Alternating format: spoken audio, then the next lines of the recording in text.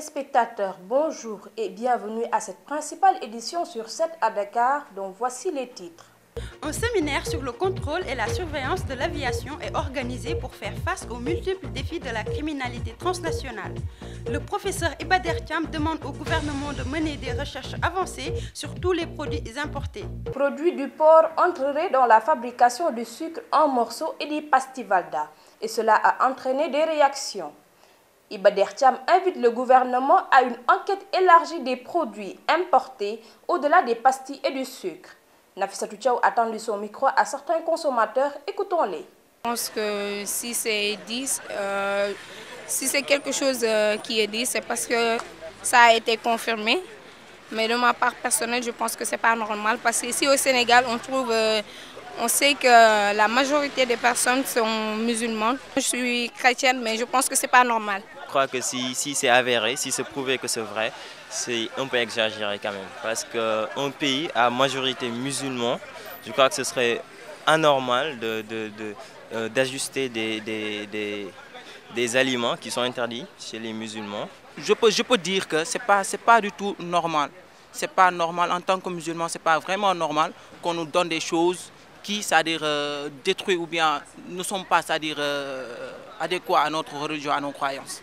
En société, Sébastien Fruitman, un marchand ambulant qui ne passe pas inaperçu. De nationalité allemande, il est venu au Sénégal dans le cadre de ses recherches en anthropologie. Il a fini par devenir un marchand ambulant. Cet à Dakar est allé à la rencontre de cet Allemand pas comme les autres. gis naa benn xarit ci Sama sama quartier en fait. Sama sama en fait en anthropologie sama sama terrain Pikine Icotaf Wakhinane 2 euh, il a vendu du parfum en fait. Comme ça il, fait sa vie parce que voilà le père est, mort. Donc voilà il, il est en fait l'aîné. Donc il, il, doit voilà. Et voilà je m'intéressais voilà comment il le fait. Et je lui ai demandé est-ce que ben la def moo la dugal ci jaay parfum? Comment? sa xarit boobu moo la dugal ci jaay parfum. waaw dëgg la voilà et euh, bon. Comme ça, il m'a montré comment ça se fait. On a fait, on est allé à Guédiouaï. Hein, il m'a montré. Il était, voilà, j'étais en fait son, son, apprenti en quelque sorte. Et voilà, il m'a, il m'a montré. Et voilà, j'ai décidé, voilà, de faire à côté de mes recherches, parce que aussi, voilà, pour gagner un peu de sous, parce que j'ai pas une bourse.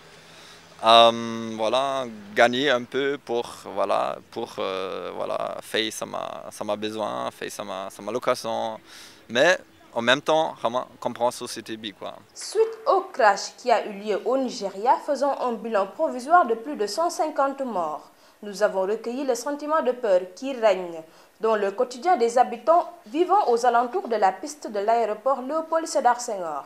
Reportage de Mambi Sindion. Les populations de Mermoz Sud, cité avion et environ vivent des quotidiens vacarmes, mais ne savent à qui, encore moins comment se détacher de ce calvaire assourdissant du décollage et de l'atterrissage des avions.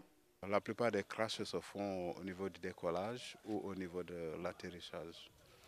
Vous pouvez constater que ça fait peur à la population qui habite aux alentours. Et aussi, ça a des conséquences très, très, très néfastes.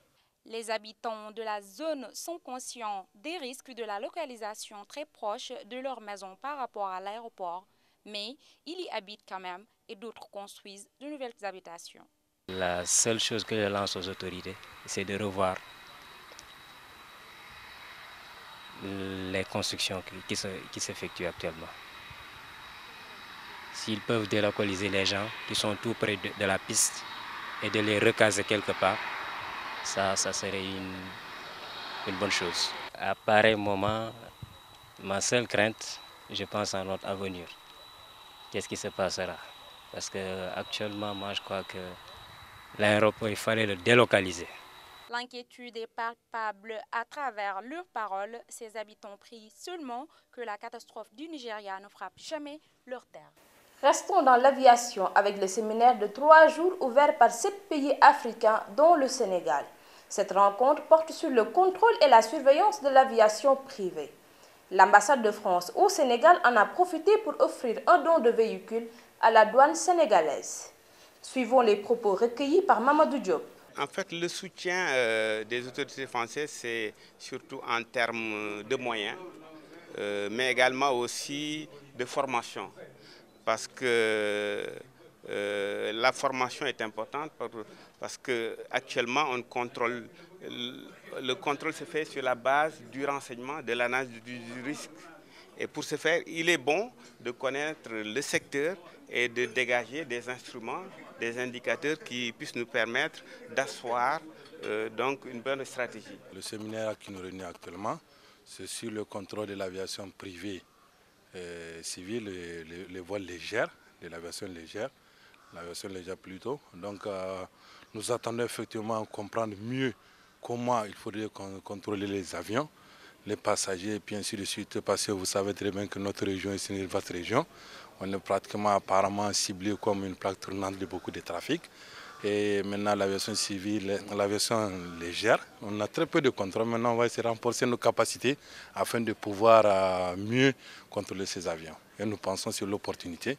Est tous les pays du Sahel. On a aujourd'hui sept pays présents ici, tout en espérant que les autres pays vont se joindre à nous pour mieux contrôler l'aviation légère. Voilà.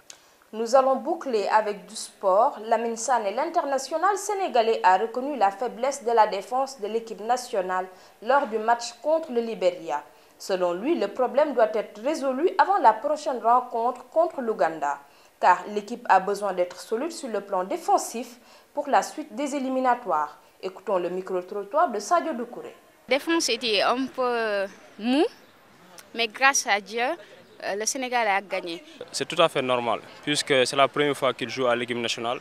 Vu la pression qui était derrière eux, c'est tout à fait normal que la défense ne rassure pas. Moi, je pense que c'est une chose normale, hein, d'autant plus qu'on vient l'axe central vient juste de démarrer. Ils ont, ils ont fait deux matchs ensemble. Donc je pense que c'est très normal qu'il y ait ces, lacunes-là.